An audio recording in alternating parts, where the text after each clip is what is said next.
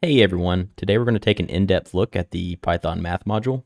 Um, I've only ever used the math module a handful of times just to use the square root function or the log function, um, but it wasn't until recently that I discovered that there's so much more to the math module than I, I thought. So that's what I'm going to do today in this video is just kind of go through and, and take a look at all of these functionalities and hopefully we'll both come out of this learning something new. So let's just jump right into it.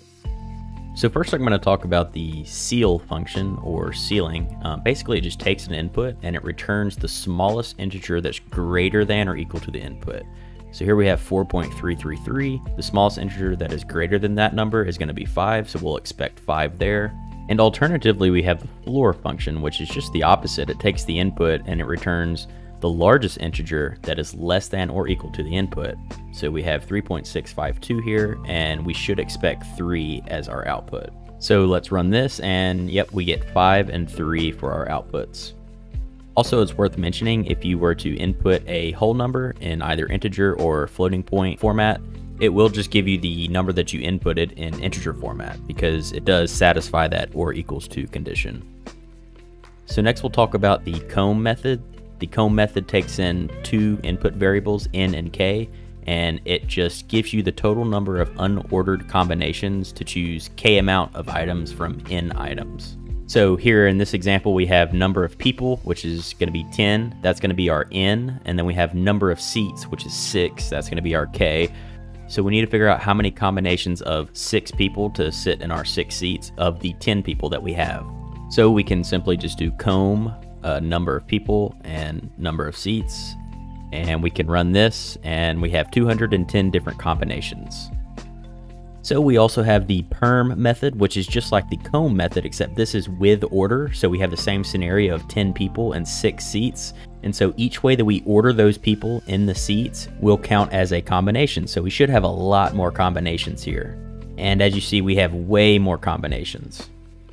Next, let's talk about copysign. Copysign takes in two input variables and it gives you a float of the magnitude of x, but with the sign of y.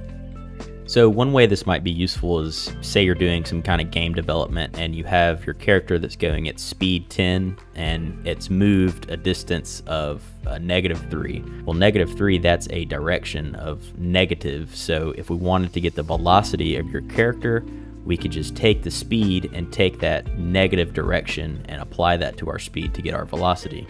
So we can just do copy sign with our inputs as speed and distance moved, and we can print the velocity here, and we get negative 10 velocity. Next is the fabs function. It just returns the absolute value of your input. Um, there's nothing too special about this one, just because Python already has a built-in function called abs, for this, so there, there's really no reason that you would ever use this. But for the sake of inclusion, I did decide to include this into the video. Now we have the factorial function. Uh, simply put, it just takes the input and gives you the factorial of that input. So here we have factorial of 5. It's just 1 times 2 times 3 times 4 times 5. And we'll print that, and we get 120. And now we have the fmod function, and the fmod function takes in two input variables, x and y, and it returns the modulus as a float. Um, a modulus, if you don't know what a modulus is, it's just the remainder. If you were to uh, divide x by y, it's the remainder of that. So here in this example, 100 divided by 9, 9 goes into 100 11 times with a remainder of 1. So the fmod function here, we should expect a 1 and there we have it. We have one in floating point format. And again, Python already has an operation for modulus. You can just do 100% sign 9, and that will also give you the same answer, but in uh, integer format. So what's the difference? Well, I don't want to go in a rabbit hole on this video, but essentially fmod is better if you're using really large or really small floating point numbers. And if you're dealing with just regular integers, just use the Python percent modulus operator. So next we have the frexp function. It takes one input and it returns the mantissa as a float and the exponent as an integer of your input. So I had to look this one up. I, I wasn't sure what a mantissa was, um, but in scientific notation, we use the mantissa times uh, base 10 to our exponent, and the same logic applies here, except we're doing base 2 instead of base 10. So it gives us our mantissa here in floating point and our exponent as an integer. So we'll put in 16 for our input and let's see, we get a 0.5 for our Mantissa and a 5 for our exponent. And just to reverse the calculations, we can take our Mantissa and multiply that by 2 to the power of our exponent and we should get 16. And there we go, we get 16 in floating point format. And instead of just doing what I did there, uh, the math module has a built-in LDEXP, which is just a reverse of FREXP where you input your Mantissa and your exponent. So our Mantissa here will be x of 0, which is 0.5, and our exponent will be x of 1, which is 5, and we should get 16. And there we have it, 16. Okay, so now we have the fsum method, and it takes an iterable as its input, and it returns an accurate floating point sum of the values in the iterable. So here we have a list of uh, point twos. There's 10 of them, and we're going to sum them together. So Python already has a sum method, but you'll see in this example that it actually has some rounding errors as compared to the fsum method. So as we see here, we get a 1.999 for just using the sum method. And this was something that I wasn't aware of until I did the research into this video. Uh, if, if, you're interested of why this is, I recommend going and reading up on it. It's quite interesting. Um, but I think from now on, I'm just going to use the fsum method for all of my summations.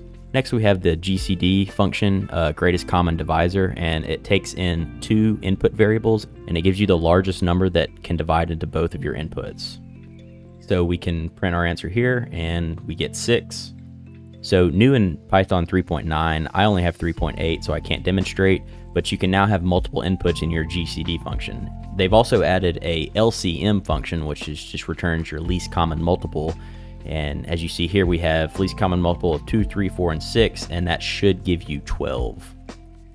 So now we're going to look at the isClose method, and the isClose method takes in two variables, a and b, and it returns true if they're close to each other, and returns false if otherwise. And the closeness of these two inputs is determined by relative tolerance and absolute tolerance.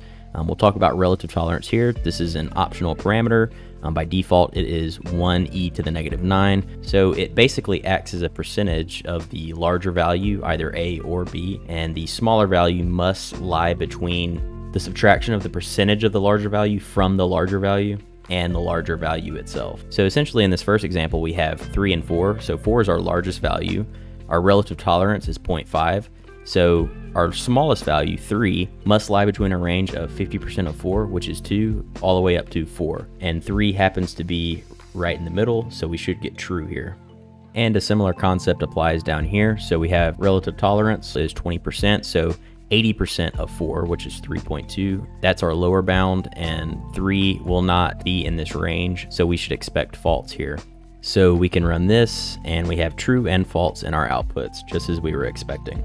So our other optional input variable is absolute total, and basically this just gets subtracted from our larger input, and our smaller input must be between the bounds of that subtraction value and our larger value to be considered close. So again, we have our inputs of 3 and 4 here, and we have our absolute tolerance of 2, so our largest value is 4, so our smallest value 3 must be between 2 and 4 in this example, so we should expect true here. And down here we have our absolute tolerance set to 0.5, so 3 must lie between 3.5 and 4, which is false, so we should expect false for this answer. And we run this, and yep, we get true and false.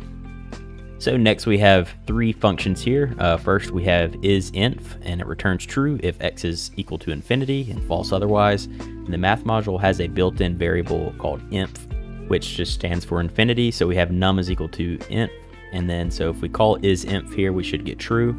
And next is the isNan function. It returns true if x is a nan, which stands for not a number, and false otherwise. Again, the math module has a variable for a nan, which is just nan, so we have num is equal to nan, so we should expect true here.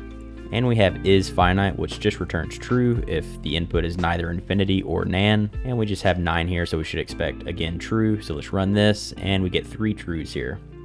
Next, we have the i square root function, and essentially it just takes the square root of your input and it rounds it down to the nearest integer.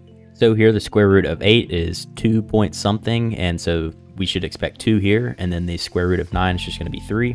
So we can run this, and we get 2 and 3. So this one's pretty interesting. We have the mod f function, and basically returns the fractional part and the integer part of x. And we have 8.22 here, so we're going to have our fractional part and our integer part here as a tuple. And also both of these will carry the sign of the input. So if we have a negative 8.22, both our fractional and integer part will be negative. So next we have our prod function, which stands for product, and we input an iterable and an optional variable start, uh, where its default value is 1. And so basically we just calculate the product of all the elements in the iterable. So here for the first example, we have uh, an iterable of 10, 2, and 5. So the prod of that is just going to be 100. And so down here, we actually have our start value set to 2. So it's going to be 2 times 10 times 2 times 5. So that should give us 200. So let's run this and we get 100 and 200. Okay, so that will conclude this video. So far I've only covered the number theoretic and representation functions. That's all I was able to cover. But in the future, I will make a video to cover the rest of the math module, um, including all these you know, angular functions, hyperbolic functions, special functions, etc. Um, but if you did enjoy this video, please leave a like. And if you learned something, please share what you learned in the comments. Also, please consider subscribing if you want more of my content. And thanks for watching.